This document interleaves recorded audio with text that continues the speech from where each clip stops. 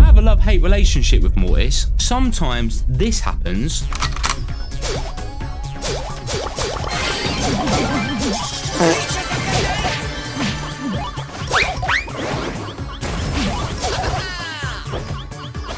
And other times, this happens.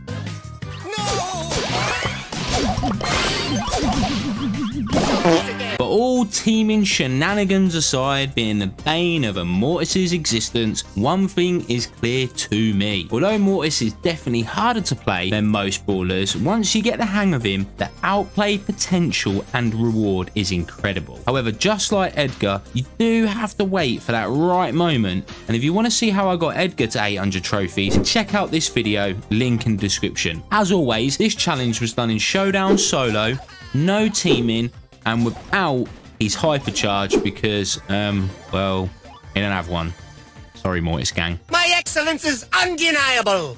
In this video, we're going to cover the following. The pros and cons of Mortis, the build broken down, priority purchase on levels, gadgets, star powers and gears, best and worst maps, strategies to succeed with Mortis, best and worst brawler matchups, and a sweet, sweet, sweet conclusion to this story via a tier list of how hard this challenge was in comparison to other brawlers that I have reached to 800 trophies so far. So let's go through the pros and cons of Mortis. Some pros would be his outplay potential is incredibly high. He has great kit options that synergize really well, not really map dependent, and has a high risk but high reward gameplay style. And some cons would be that he's vulnerable getting power cubes at the starts, especially. Strong versus throwers. Manual attack dependent. This is really important. And long reload times. For the build then, let's start off with the gadgets. I personally use Combo Spinner, but I do see an argument for Survival Shovel. I take Combo Spinner because the extra damage after and during his dashes in a lot of cases is what he needs to kill a brawler. Or using the gadget after two attacks so that you can use the final attack to dash away comes in clutch so much that is my main reason for picking it. However, being able to do more attacks for 4 seconds could be clutch in an escape from danger situation as well, or just to do more dukes.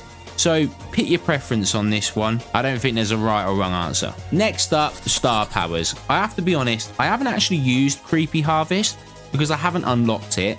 And when given the choice, I chose Coiled Snake. Because being able to use the extra long dash quicker has been clutch for me in so many situations.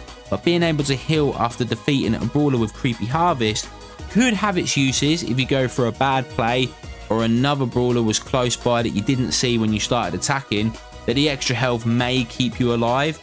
But either way, it's why I think Mortis has good kit options because there are just as many pros as there are cons for any of the choices that you go with him. Alright then, the gears. I think that most brawlers it's going to be shield and damage gear.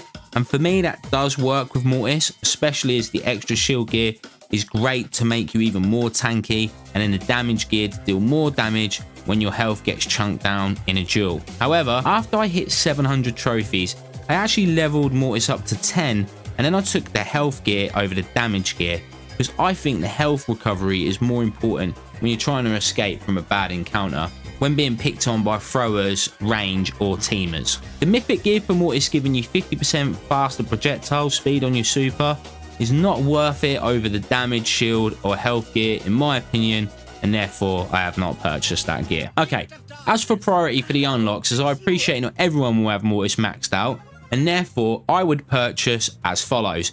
I would get him to level 8 ASAP, I would get the shield gear next, level 9, coiled snake, combo spinner, level 10, health or shield gear, and then level 11. And the reason for the order is because I think the extra health from the shield is key for Mortis as you pick and choose targets like an assassin rather than constantly attacking. So your shield should always be charging. Coiled Snake over Combo Spinner because it's more impactful. If I had to pick one over the other, as mentioned before, it's been clutched so many times for me in Solo Showdown. Okay, so for the maps then, in terms of his worst and best maps so far, So for the map rotations recently being changed, I actually had a lot of success with Mortis on Island Invasion. You see, you want to head for the middle of this map, where it's less bushy, and let the brawlers that want to fight in the bushes get on with it. This map in general has less teaming because of the amount of bushes that are in it, and because of that quick finger element that brawlers have when they bump into each other.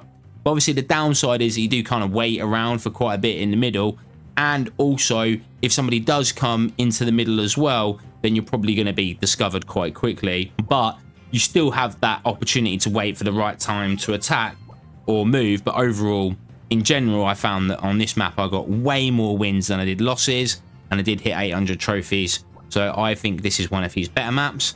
The maps that I would avoid based on the current rotation would be Marksman's Paradise, uh, as just a little open for Mortis.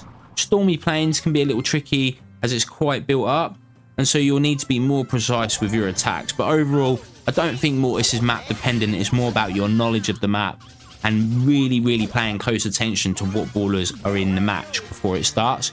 But if you do want to see what all different maps are, you can go check that out on brawlify.com.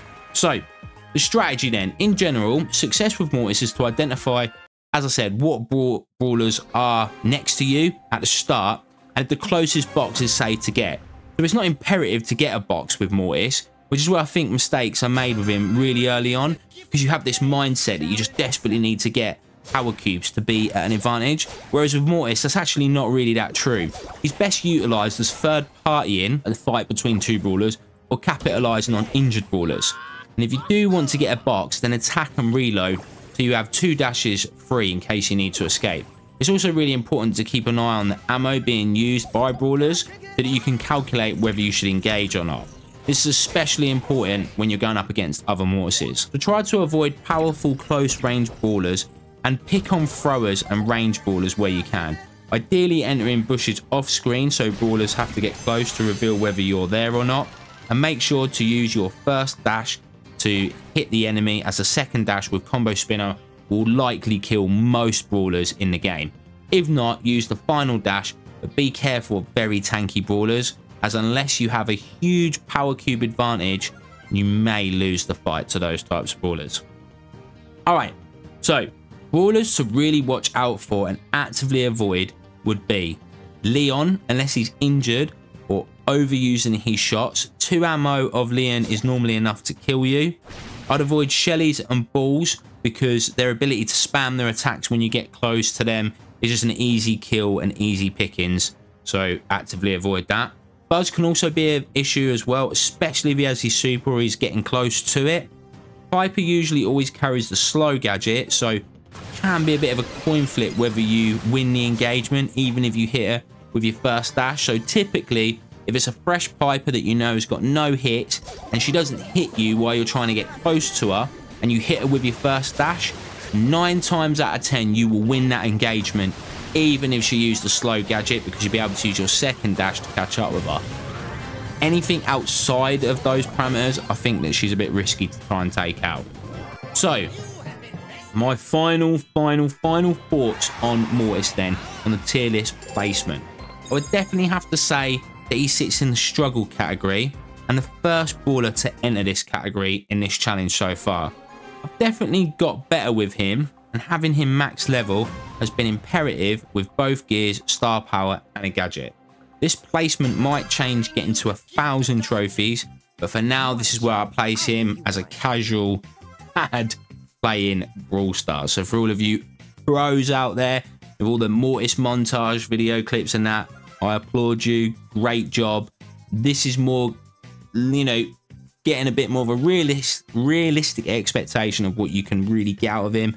And as I say, I think 800 trophies with Mortis is quite an accomplishment.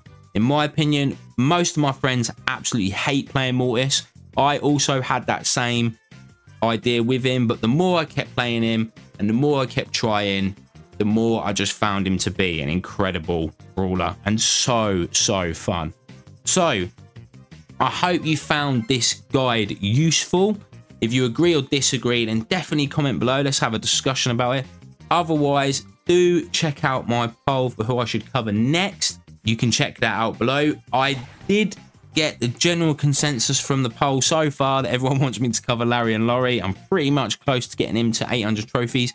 I am considering whether some brawlers just really are that good and whether we should just try and go for the thousand straight away. So if you are invested in this series and you're enjoying it, definitely let me know whether you'd prefer me to just go straight for a thousand trophy mark than the 800. Obviously, that's going to take me a little bit longer, but we can put some more time and effort into the video to do some extra coverage and just the process of getting through that. Definitely let me know. That is it for this one, guys. Really appreciate your support, and I'll see you in the next one. See ya!